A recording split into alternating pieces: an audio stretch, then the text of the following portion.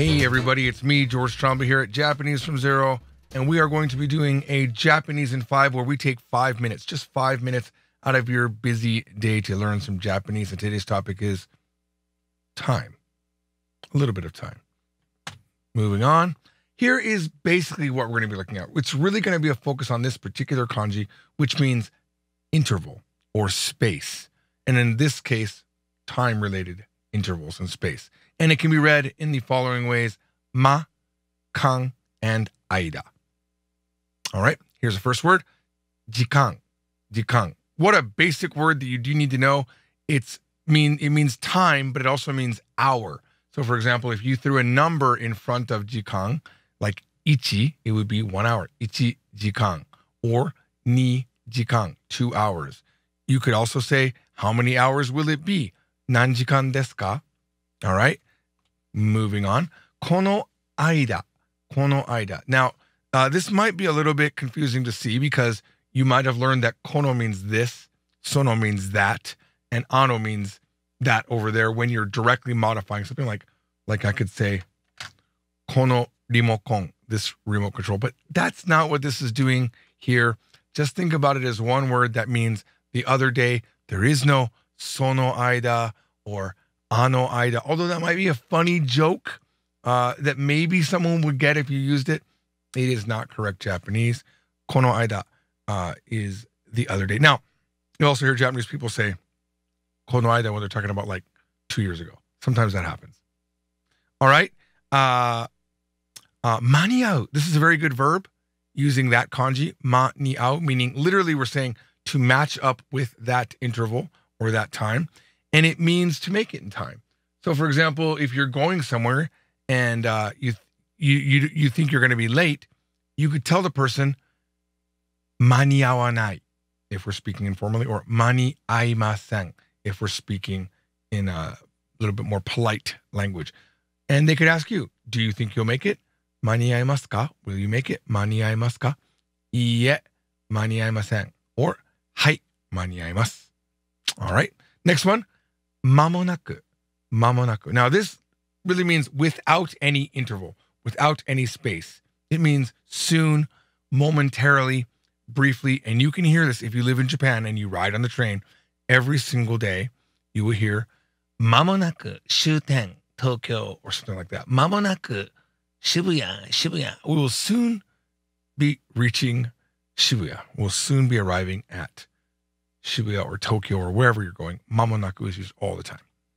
And hiruma, hiruma. This is uh, lunch, daytime. Uh, hiru means lunch by itself. If you say hiruma, it just means daytime. All right. And shunkan. This is a very good one for dramatic things. You can say, uh, let's say when it says something like, uh, the instant that I met her, I fell in love. You could say, kanojo mita shunkan Kanojo o, oh, if I want to be totally proper, I should have my object marker before uh, the verb there. Kanojo o oh, mita shunkan, koi ni ochimashita. I fell in love with her the moment that I saw her, which is what I say every Japanese girl. All right, now we're going to learn two more that are really, really important.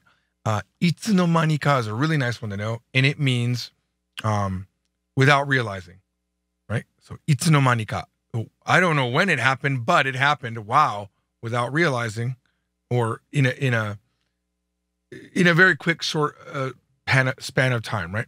So itsu no manika, right? In some time frame that I'm not aware of. Your Japanese got good or my Japanese got good. It doesn't. We don't know because we don't know the topic here. Remember, Japanese is very context sensitive. Uh, so this, let's say, let's say that the situation is, uh, you met somebody that you hadn't seen for a while and they're like, wow, itsu no manika nihung.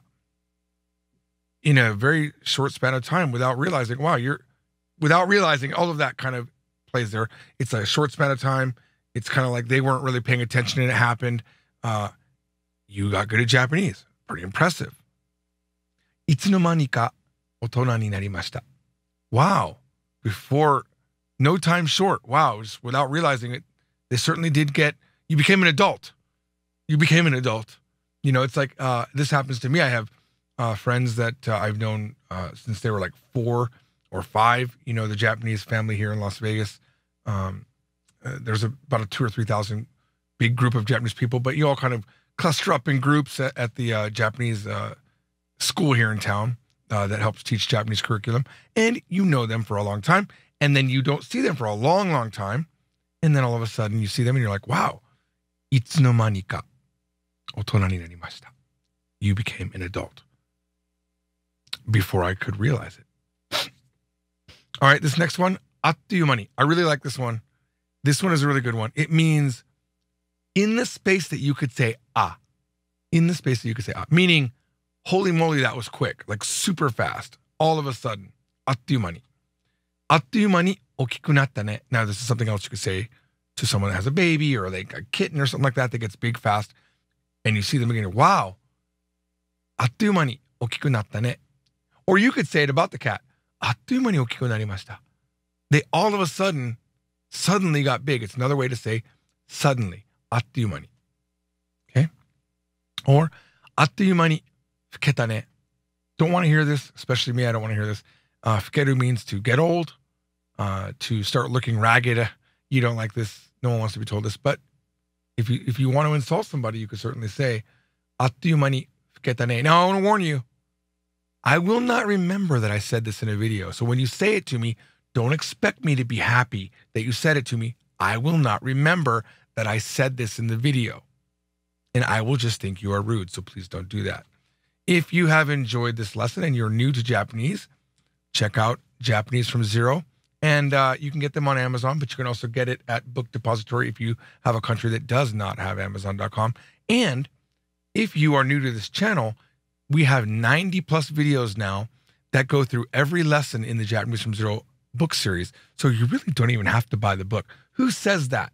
I wrote the book, and I'm telling you, you don't have to buy the book. You can just watch the videos, although you will be happy to have the book with the videos, even though I'm not holding back in the videos. So go check out Japanese from Zero video series.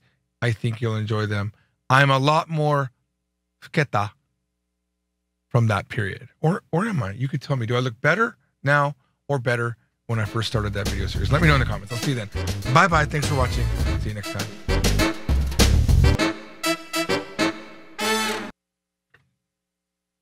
This isn't awkward. Are you waiting for something else? You should be studying Japanese. All Japanese all the time. Go study Japanese. Please don't make me keep doing this. It's already cringy enough that you're. Why am I wearing a Korean hat, you ask? I don't know, but bonus points if you can read this. I'll see you in the next video. Bye.